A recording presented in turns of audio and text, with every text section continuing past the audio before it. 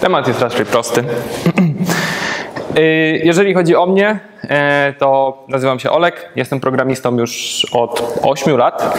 Y, tutaj jestem w sumie właśnie dzięki Objectivity, które ma biuro tutaj obok. Ja nie jestem z tego biura, przyjechałem z Wrocławia, y, takie życie, ale mam wakacje przy okazji. Więc tyle o mnie. I y, jeżeli chodzi o temat prezentacji, dlaczego Kotlin trochę właśnie versus Java, to to jest tak, że mm, chciałem przygotować jakąś prezentację, bo to jest y, moja druga prezentacja taka publiczna. Wcześniej występowałem tylko gdzieś tam w firmie y, i nie wiedziałem do końca na jaki temat to zrobić. No i znajomy, tak się spytałem go, czy jest jakiś temat, jest jakiś temat który chciałby usłyszeć. I on powiedział, że no w sumie nie ma czasu za bardzo i chciałby wiedzieć, jakie są nowe funkcje Java, jakieś y, te, widział tam niektóre rekordy i tak dalej w tej Java 17, ale nigdy nie mógł tego sobie tak ogarnąć samemu, no bo jego firma Java dopiero wdroży za, Java 17 wdroży za jakieś 5 lat, e, więc yy, musiał, musi jakieś za tym nadążyć. No i ja tak, okej, okay, no w sumie fajny temat, też jakoś nie, nie mam tej Java 17 na co dzień, raczej ta Java 11 jest. Yy, zdarza się, ale no to nie jest tak jak na co dzień, no to możemy jednak zobaczyć, jakie tam feature'y weszły. No ale przeglądam tak te rzeczy, które tam wchodzą, te, te nowe, nowe składnie języka, no i no, znam je. No wszystkie znam. Naprawdę.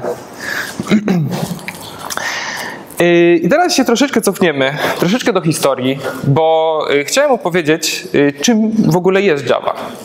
Bo my jako programiści wiemy, że Java to jest język programowania, ale Java to nie jest tylko język oprogramowania, to jest cała technologia. Java składa się z dwóch części, właśnie z języka oprogramowania, jak i z maszyny wirtualnej.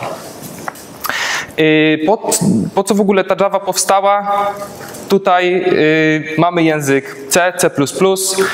Ciężko jest w nich pisać oprogramowanie ze względu na to, że trzeba pamiętać o pamięci. Te języki Czyli w sumie wtedy to chyba jeszcze bardziej C, nie był językiem e, obiektowym, więc tutaj też e, Java powstaje po to, żeby wprowadzić tą obiektowość, dziedziczenie, e, niezależność, przede wszystkim niezależność od architektury. I tutaj właśnie ta technologia, nie tylko język oprogramowania, ale również technologia wirtualnej maszyny, która będzie działać wszędzie i będzie potrafiła odpalić każdy program Javowy. E, do tego jeszcze obsługa kilku innych ważnych rzeczy, jak sieciowość oraz e, obsługa wielowątkowości, która miała być znacznie uproszczona do tego, co było we wcześniejszych e, językach oprogramowania. A co to jest Kotlin? No, Kotlin to jest jedynie, jedynie język oprogramowania. Tutaj Kotlin już działa na tej maszynie wirtualnej Java. I dlaczego w ogóle powstał Kotlin? No, ma troszkę bardziej błahą przyczynę. Y, jeżeli chodzi o twórców Kotlina, to y, stworzyli go tylko dlatego, żeby on się, żeby dostać feature'y, które są w skali, w skali, ale żeby ten język się dużo szybciej kompilował niż skala. Y, więc tutaj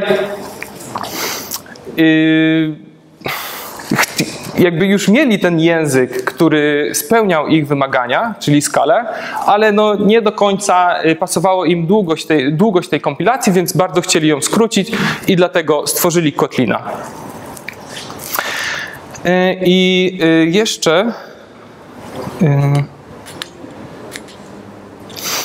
jak mniej więcej wygląda to mm, jak bardzo Kotlin jest popularny do, w stosunku do Java.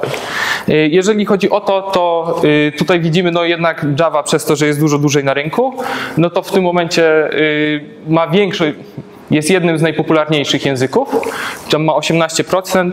Kotlin to jest zaledwie niecałe 2%.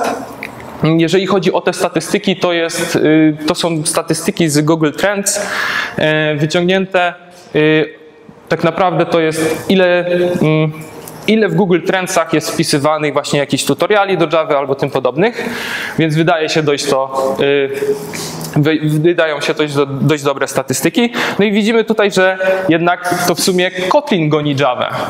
Bo jeżeli chodzi o tą popularność, to Java ma dużo większą.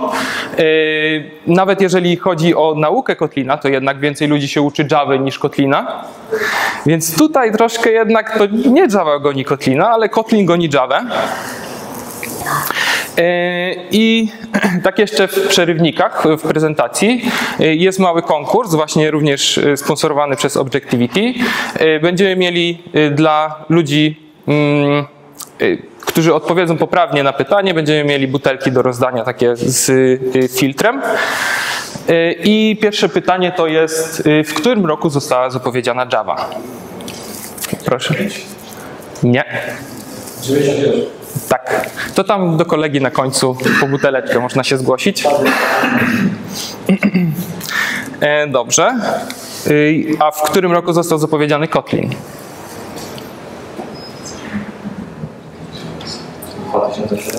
Proszę. 11. Tak, w 2011 roku. To tam też również można się zgłosić do kolegi po butelkę. Yy, więc tutaj jak yy, patrząc sobie na historię tego wszystkiego, no to jak popatrzymy sobie, no rzeczywiście ta Java została zapowiedziana w 1991, yy, no i tak później zostały co trochę lat wypuszczane kolejne wersje.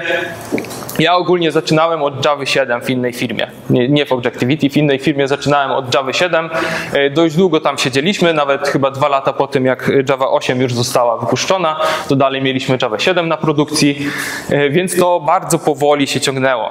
W tych kolejnych wersjach tej Java mieliśmy, e, było bardzo dużo niekompatybilności, przez co ciężko było zmigrować na przykład z Java 7 na 8. Jeżeli chodzi o Kotlina, to został zapowiedziany w 2011 roku. No i w 2016 została wypuszczona pierwsza wersja. Tych zmian jest mało. Znaczy, moim zdaniem jest mało. Jeżeli chodzi o 2018, no to Java miała więcej wersji niż Kotlin. I mówię to ze względu na to, że jakoś w 2017 roku chcieliśmy napisać jeden z mikroserwisów w Kotlinie i ja dostałem taką... Mm, znaczy, zostało mi powiedziane, że nie używajcie Kotlina, bo on jest niestabilny.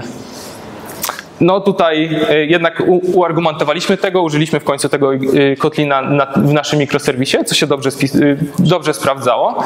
Kotlin bardzo ładnie działał nam ze Springiem, no ale nigdzie nie zauważyliśmy, żeby był niestabilny.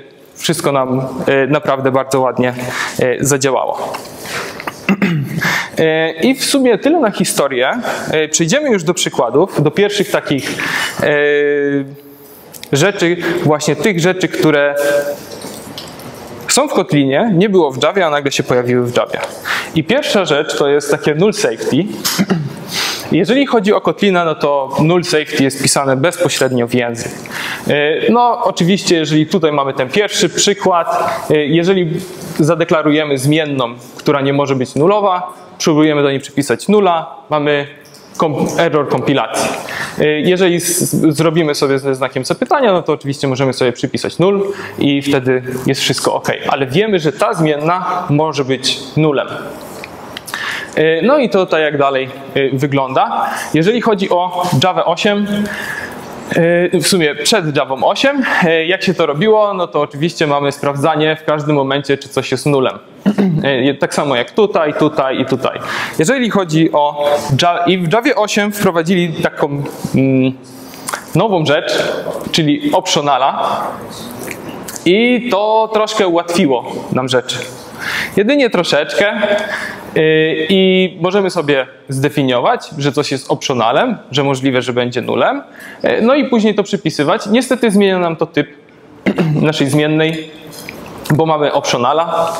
E, no i później to też sprawia problemy, bo ten optional sam może być nulem. Więc możemy, musimy wtedy sprawdzać, czy nas optional nie jest nulem i rzucać wyjątek, jeżeli jest nulem. No i dopiero wtedy możemy sobie or else robić.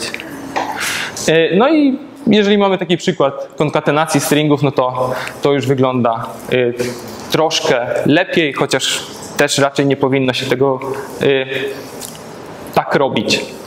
I teraz y, przejdę dalej, y, ale y, znaczy, ostatnim razem jak robiłem tę prezentację, to ktoś mnie zatrzymał. i się spytał, nie no co ty porównujesz null safety Kotlina do optionala w Javie? No to prawda, to nie ma się nijak do siebie. Ten optional to jest jakiś tak naprawdę, jakby to nie zapewnia nam null safety w Javie. To jest jedna tysięczna tego, co daje nam y, Kotlinowa składnia. Dobra, Y, w następnym przykładzie, mm, w której Javie zostały dodane wyrażenia lambda. Zapraszam. Tam pan bardzo chętny. Zapraszam po butelkę. Yy, Więc tak, yy, w Javie 8 zostały dodane wyrażenia lambda. W Kotlinie większość, w ogóle nie, nie powiedziałem tego, w Kotlinie większość tych rzeczy, które będą pokazywane, one jakby były już w tej wersji pierwszej. Jeżeli chodzi o Java 8, no to znaczy przed Java 8 nie mieliśmy czegoś takiego jak wyrażenia lambda, m- mieliśmy coś takiego jak yy, klasy mm, i wyleciało mi z głowy. Jakie to były klasy? Anonimowe, dokładnie. Klasy anonimowe. No to nie było pytanie specjalne, więc y, niestety nie ma butelki. Jeżeli chodzi o Java 8, no to mieliśmy tylko klasy anonimowe. Można było tym troszkę tak symulować właśnie lambdy, ale ich nie było jakby w tym języku. W Java 8 wchodzą nam te upragnione lambdy, foricze i mamy ładniejszą składnię. No w Kotlinie mieliśmy to, ale nie ma się co dziwić, Kotlin był w 2011 roku. E, Lambdy w, zos- został zapowiedziany w 2018 roku, ale jego pierwsza wersja wyszła w 2016, więc Java Lambdy miała dwa lata wcześniej. Bo z Kotlina byśmy nie skorzystali w 2014. E, Local Variable Type Interface. Inference. Wow. Inference. E, czyli w Kotlinie w momencie, kiedy w Kotlinie mamy e, definiowanie zmiennych, nie, poda, nie musimy podawać ich typu, tak jak widzimy w drugim przykładzie. Ten typ zostanie jakby w trakcie kompilacji wyciągnięty z tego, co mamy przypisanego. E, Oczywiście możemy podać jawnie, no i y, ta zmienna zawsze będzie miała ten typ. Również ta zmienna też będzie miała typ, który jest, został przypisany przy inicjalizacji. No i przed Java 11 y, w Javie zawsze musieliśmy podawać ten typ. W y, Javie 11 doszedł nam feature var i w momencie kompilacji ta zmien zostanie przypisany typ do tej zmiennej i nie będziemy mogli do niej przypisać innego typu. Więc Jaka, jakaś poprawa. Kolejny skrót w tej Javie. E, switch expressions. E, Bo właśnie przed Javą 14 mamy nasze switch statement. E, W Kotlinie nie mamy czegoś takiego jak switcha. E, Mamy właśnie ten when, który działa, który właśnie tak wygląda w taki sposób. I teraz pokażę Wam, jak wygląda to w Javie 14. W Javie 14. Hmm. No, jakby to pominąć, to zmienić na else, to w sumie byłoby to samo. Yy, tutaj akurat jest ciekawostka. Switch expression. Yy, no tutaj mamy when expression w Kotlinie, switch expression w Javie. Nieduża różnica. Tutaj na razie takie te feature'y, które tam w tej Javie się pokazują, e, raczej mają takie nazwy, y, jak dla mnie, normalne. E, następnie text A blocks. tutaj w Kotlinie pilnują tego kompletności, e, kompletności jedną na przykład? Nie, Tak? tak. To- Okej. Nie musiałem się odzywać. Jeżeli chodzi o text blocks, mm, to, to jest nazwa z Java, bo oni też niektóre feature'y właśnie tak, niektóre funkcje, które dodawali, y, tak lubi, lubią im zmieniać właśnie te nazwy. Y, Przed Javą 15, jeżeli chcemy zrobić sobie stringa, który ma więcej niż jedną linię, tak jak tu tutaj widzimy w Kotlinie, zaczynamy sobie od trzech cudzysłowów, y, dajemy sobie jakieś tam wieloliniowego stringa i wszystko nam ładnie działa. Java, przed Java 15 musieliśmy robić to w taki sposób, jakoś łączyć te stringi albo coś takiego, plusy gdzieś wstawiać albo inne rzeczy. W Javie 15 dostaliśmy coś takiego jak text block, blocks. Nie wiem dlaczego to się nie nazywa multiline string albo coś takiego. Jest text blocks. E, No i wygląda to Znowu, prawie identycznie. Zmiana jedynie nazwy y, metody, która zostanie wywołana po. E, Nas... O, dobra. Następny przykładek. E, Co jest odpowiednikiem data class w Javie? Rekord. Tak, rekord. Do, proszę, zapraszam po butelkę później. I jeżeli właśnie chodzi o Kotlina, to y, mamy y, data class, definicję w taki sposób. Przed Java 16 musimy definiować całą klasę z naszymi getterami, e, jak i equals, hashcode i toString.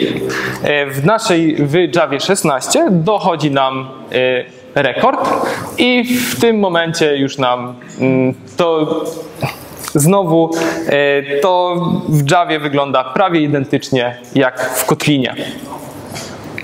I teraz wydaje mi się, pytanie będzie proste, ale długie. Jak nazywa się biblioteka oparta na adnotacjach, która umożliwia. No właśnie nie dokończyłem, ale to y, teraz nie wiem kto. Kto był pierwszy, to zapraszam, można odebrać butelkę. Y, Bardzo ciężko mi było stworzyć to pytanie. Y, Jakby odpowiedź jest łatwa, ale żeby wymyślić to, w jaki sposób zadać pytanie, żeby było, na nią odpowiedź było y, Lombok, było dość ciężkie. Tak, wcześniej, oczywiście przed Java 16 możemy wykorzystywać Lomboka, trochę do zmniejszenia pisania tych klas, które wyglądają jak rekord, które tylko są nośnikami danych. No ale to nie jest jakby, to nie jest idealne rozwiązanie, bo ten boilerplate dalej tam jest, tylko po prostu go nie widzimy. Więc te rekordy są już kolejnym dodatkiem, który jest na plus dla Java. No dobra, to nie jest po przekompilowaniu na bytecode nie wychodzi mniej więcej to samo? Co? Sprawdzałeś. No nie, W, reko- znaczy w rekordach W rekordach rzeczywiście będzie mniej więcej to samo, y, bo no, jednak ten y, bytecode trzeba wytworzyć i on tam też wytwarza equals i gettery, y, ale jednak już nie mamy generowania tego. To już jest chociaż jeden minus, znaczy odejmujemy jeden mi- minus, bo jeżeli mamy Lomboka, który generuje nam coś i dobierzemy sobie kolejną bibliotekę, która nam coś generuje, to w tym momencie możemy mieć jakiegoś klasza. Lombok nam wygeneruje za późno, albo druga biblioteka nam wygeneruje coś za szybko, więc tutaj mm, na pewno wolałbym korzystać z, reko- z rekordów niż z Lomboka. I teraz takie już y, też coś, co y, od zawsze było w Kotlinie. W Javie. Może inaczej.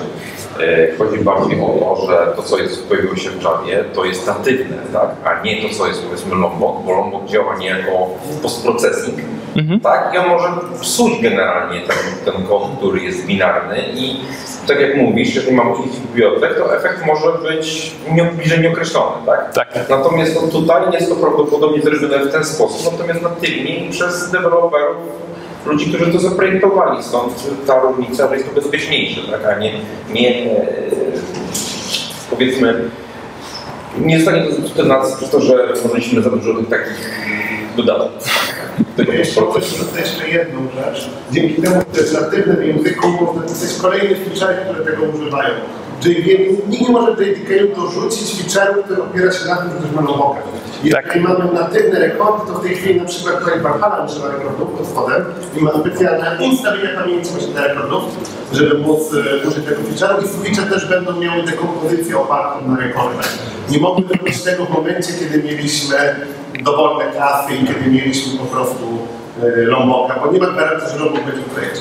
Bo Bo można to jest sprawa też ten, bezpieczeństwo serializacji, bo w momencie, kiedy ten używasz rekordów, no to e, ten serializacja odbywa się poprzez, ten, poprzez konstruktor. Tak. Także tam jest kilka takich dodatkowych minusów. Tak, zgadza się. Wszystko, wszystko co mówiliście, było prawdą. E, pattern matching for the instance of operator.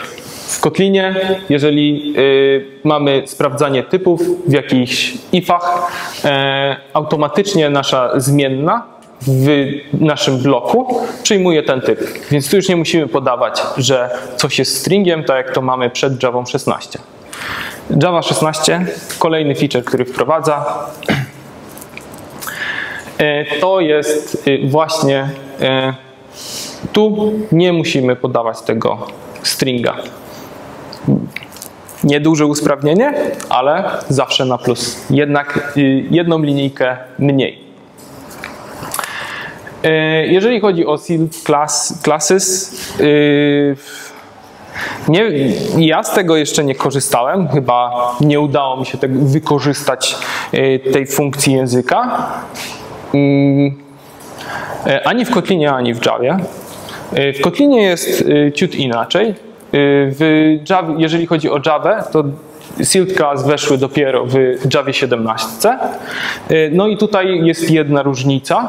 Y, Jeżeli chodzi o sealed class w Javie 17, to musimy powiedzieć, dla kogo jest ta klasa, jakby kto może dziedziczyć po tej klasie. Nie, no bo właśnie, o tym zapomniałem.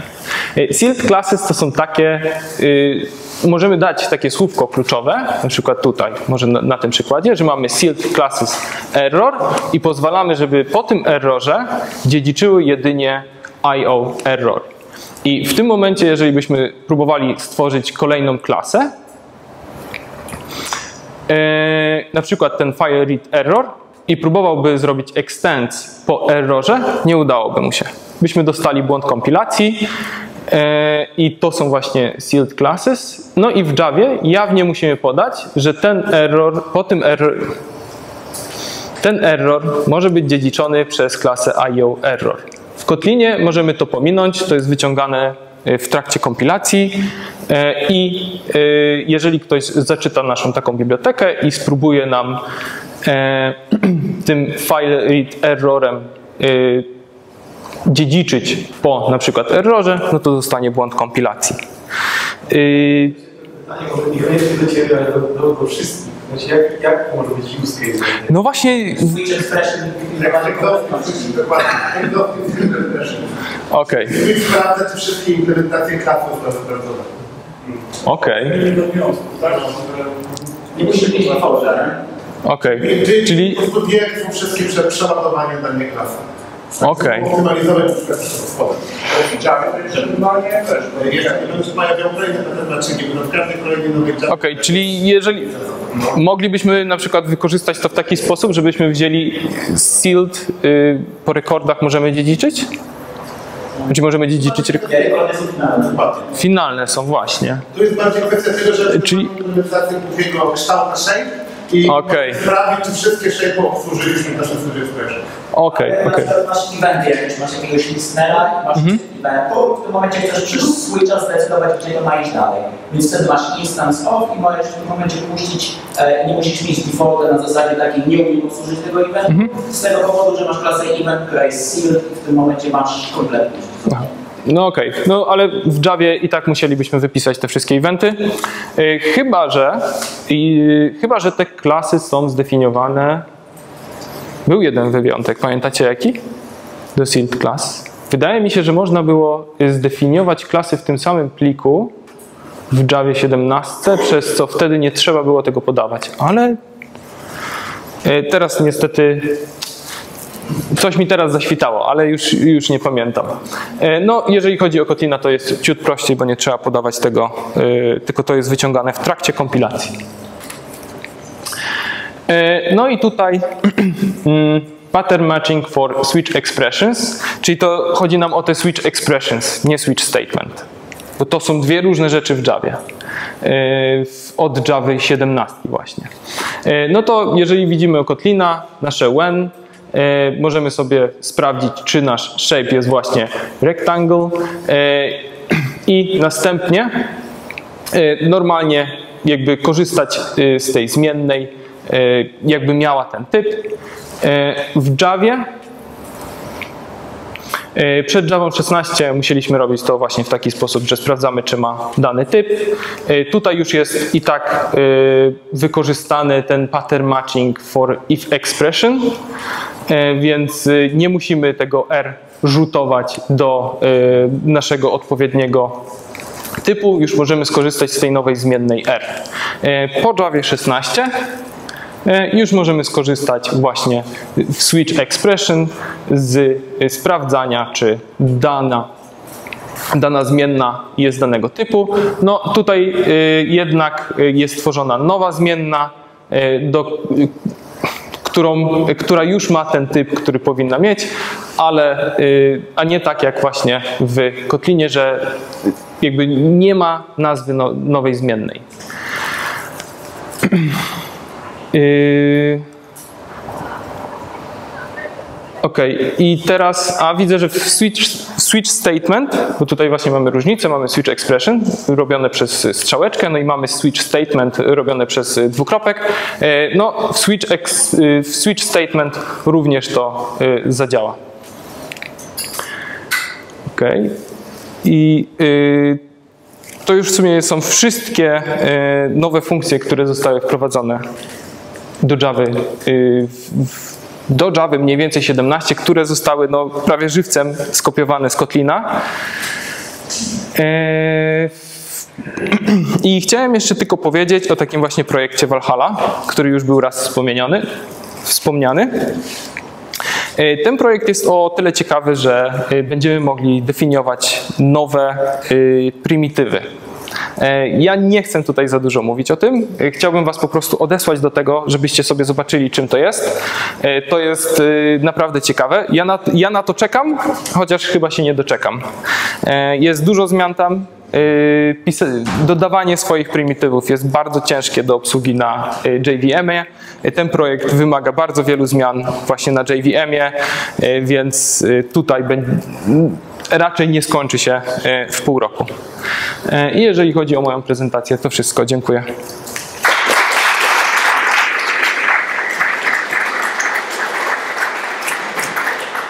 Nie korzystałem z jakichś e, super linków, także raczej jest skromnie. Dziękuję. Pytania? Pytania, tak, tak. Yy, Ja bym chciał pytanie na pytanie, odpowiedź na pytanie tytułowe, bo powiedzieliśmy feature'y, przykłady naładowania Kotlina. A ja się kiedyś Kotlina uczyłem, ale właśnie widziałem, że nowe wersje Java dużo tych fajnych yy, takich składniowych rzeczy przenoszą. A jakie są takie feature'y, że wiem, Java prędko nie dogoni, albo powody, żeby uczyć się Kotlina w 2022 na przykład, coś takiego. Mm, No to chociażby, żeby pisać aplikacje e, mobilne na Androida, no to trzeba umieć Kotlina. Jeżeli piszę tylko e, backendy na przykład, to Tak, null safety. nie? Ta, y, w większości tak. Ja, jeżeli chodzi o null safety, to chyba to jest największy feature Kotlina, którego zazdroszczę, że nie ma w Java. Konto. Ten krok konto nie jest ubieżność ewentualnie. O współ... Ja też tak obieca, że ułatwią, Nawet ale nawet, nawet Y, nie mówiłem, nie obiecają, ale te feature zazwyczaj, które obiecają, są w preview kilka lat, więc pytanie, czy chcemy mieć na produkcji z czego przez tryb wyłączane. y, jeżeli chodzi o współbieżność, to i Kotlin i Java pracuje nad rozwiązaniami. Mm, Jeżeli, Kotlinie chyba też to nie jest takie już wpisane w język. Nawet, y, nawet w tych najnowszych wersjach, które wychodzą teraz, to nie jest też w takiej fazie, że już powiedzą, że możecie robić to na produkcji. Y, Już jest, Y, ale to w wersji tam w tym roku, czy w, jest... tak jest niedawno. Znaczy, dwa lata. Tak. dwa lata temu? Okej. No to i sprawdza się? Okej. Y, Jeżeli chodzi o to, czy Java dogoni Kotlina, yy, znaczy jest, problem z Javą jest taki, że nawet jakby dogoniła Kotlina i miałaby wszystko, co ma Kotlin, wszyściutko, to i tak ja bym mógł ją wykorzystać za 5 lat. Bo moja firma, zanim by to, znaczy w sumie nie moja firma, tylko zanim klient by się zgodził na to, żeby zupgrade'ować Java na kolejną e, wersję, to pewnie z 5 lat minie. Wydaje mi się, że sam Daniel obecnie, czyli ten, czyli architekt z Java, e, od początku mówi, że on woli podejść spokojnie, poczekać aż Kotlin, obecnie C-Sharp na przykład spróbuje e, retrofita zrobić, null safety, e, patrzy co się dzieje w skali, w skali. On woli zobaczyć jak inne języki to sobie przetestują i dopiero wtedy ustabilizowaną wersję siebie wprowadzi. Nie? No, jednym z takich przykładów, która teraz będzie niedługo w Javie wchodziła, e, są w końcu ten, w końcu są e, wildcardy, nie wildcardy, e, placeholdery w e, stringu. W końcu będziemy mieli to, ale praktycznie wszystkie nowe języki już to mają out the box, nie? A to No, I te Javowe będą też specyficzne. One wcale nie będą, one będą skalowe, będą przypominały, że na przykład tak, no, jeżeli chodzi o, o Java, no to lubi wymyślać na przykład swoje nazwy i te feature, te funkcje rzeczywiście są troszkę specyficzne. One nie zawsze działają tak. A propos wersji, bo w wersjach Java miałeś tam wersję 1, 2, 3, 4, 5, w sensie 1, 2, i tak dalej, a w wersjach Kotlina miałeś wersję na przykład chyba 1, 4, 30. Mhm. Inaczej robisz majory, to tutaj 1, 1, 4, 30 była jakaś istotna. To są fiksy. Nie, 30 jest mamy wersją. Oni mają inne wersjonowanie. 30 to jest ostatnia wersja przed kolejnym featurem. Czyli jak mam 1.30, 1.3.30, to to jest praktycznie preview 1.4. Tam bardzo dużo siedzi eksperymentalnych feature'ów, które oni testują i potem wchodzi 1.4. Czyli to jest Taki release candidate. To jest taki release candidate w fragment preview. Także 30 to nie 20 są chyba, tak? prawie 20, bo to 1 czy 20 na przykład to jest taka prawie. Oni po prostu robią release kandydatów w ten sposób i. Tak, dobra. Czyli to bardziej przypomina release candidate niż na przykład ten, niż na przykład w Javie wersje non-regresowe. To są duże wersje. Tak średnio zgodzę, bo Kotlin ma też takie jego RC wersję osobną. Jest to beta z innego beta, czyli już puszczają tego samego RC, które jest, a 1.20 to jest takie potestujmy sobie społeczność, tak jak Java na przykład teraz 19 wydała masę feature'ów z Creamy. Do te feature, że to nie one się pojawiają jako właśnie no, jako wcześniejsza wersja, ale powinny się wydawać dobrze. Jeszcze jedną, e, jedną kwestię co do właśnie i Kotlina i czy dogoni kiedykolwiek. E, Tu jest taka sytuacja, że Java ma pewne, e, powiedzmy, gdyby chciała cokolwiek wrócić tylko właśnie no safety, tak jak, tak jak to Kotlin, to musiała zrobić zmianę psującą dla wielu już klientów. Więc albo to wprowadzić kosztem e, tej czytelności, czyli jakieś anotacje, znowu albo jakiś albo musiała zakupić klientów. Więc Kotlin ma tą przewagę, że mógł jakby zacząć od nowa, ucząc się na doświadczeniu Java i zrobić coś po prostu lepiej, bez tego, tego bagażu co przez tych kilkunastu lat. Tak? Więc e, no Java się stara, to wchodzi w dobrze, ale nigdy nie będzie mogła po prostu fizycznie być zwięzła e, od początku, bo już ma swój bagaż. Tak, i ja wykorzystywałem Kotlina również w backendowych serwisach i dla mnie przyjemnie się w tym pisze. I tak jak mówiłem, y, Kotlin bardzo ładnie wspiera Springa, czy Spring wspiera Kotlina. Y, Było to przejrzyste. Y, Trzeba się troszkę mm, przestawić, bo to jednak trzeba sobie wyrobić jakiś taki e, sposób, jak pisać w tym Kotlinie, ale jeżeli to zrobisz, to później już będzie szło jak burza. Bo to, to właśnie też druga rzecz, którą e, słyszałem, że e, no, w Javie wszyscy wiemy, jak pisać. E, I już mamy potworzone jakieś autoformatery i tym podobne rzeczy. W Kotlinie musisz się tego nauczyć, no i musisz to, musisz się do tego dostosować. Bo nie znasz tego jeszcze. Jeszcze jakieś pytania? Czy kończymy? I kolejna prezentacja. Ja tylko dodam anegdotę co do uczenia się Kotlina w pracy. Były takie osoby, które polegały też mocno na IntelliJ'u, robiły sobie, sobie copy-paste'a z Java do Kotlina i to wszystko bardzo dobrze działało, tylko że w projekcie Kotlinowym pojawił się Lombok i w kontrolerach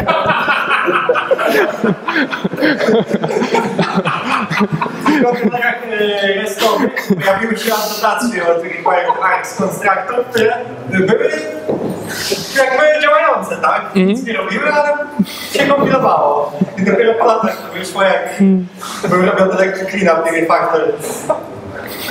Także nie polegają na ile. To historię, jak tak kończymy, w. E, Groovy też ma takie abstrakcje jak Lombok, właściwie mocno metaprogramming i robiliśmy projekt, w którym Groovy było wszystko ok, w Java to był niewidoczny, ja będę skompilowałem do żeby dać na komuś. I okazało się, że te wszystkie procy, te wszystkie meta rzeczy się wylały po prostu na wewnętrzny projekt. Posprzątanie, jak to się kapło, jak to się posprzątało, to wcale nie było tak prosto. Po prostu cały Groovy się przelał w Java, którą udostępniliśmy Dobra, słuchajcie. Dziękuję.